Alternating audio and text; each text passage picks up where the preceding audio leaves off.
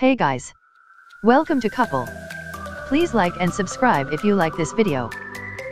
Ever since she took over as the US ambassador to the United Nations, Nikki Haley's personal Twitter account has been an object of fascination for the diplomatic set.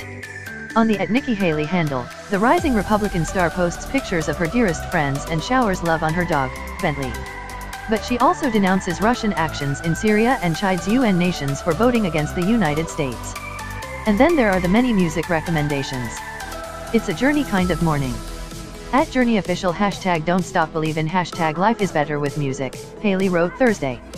The juxtaposition of silly and serious has produced eye-rolling among UN diplomats. But analysts and former U.S. officials say Haley's Twitter account which she has used for nearly a decade is indicative of another problem. Some U.S. diplomats are flouting State Department rules barring the use of personal social media accounts to make official statements.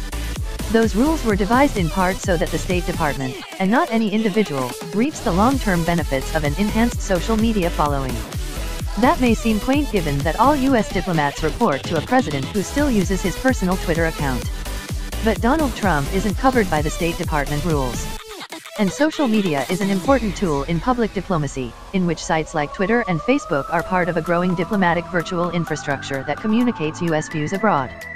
The issue also spotlights the hotly debated questions of how much social media followers are worth and what it means to earn them.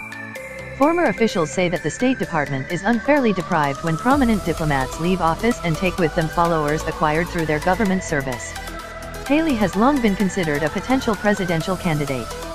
Since her confirmation as ambassador in January 2017, Haley has seen her Twitter following increase more than eightfold, to 1.6 million. That's more than four times as many as the U.S. mission to the United Nations office Twitter handle, at USUN. Taxpayer dollars shouldn't be used to fund someone's social media stardom for political or business purposes, said Brett Bruen, a former diplomat who helped craft the State Department guidelines. It doesn't take a savvy political mind to identify that Haley is trying to attract American voters for 2024.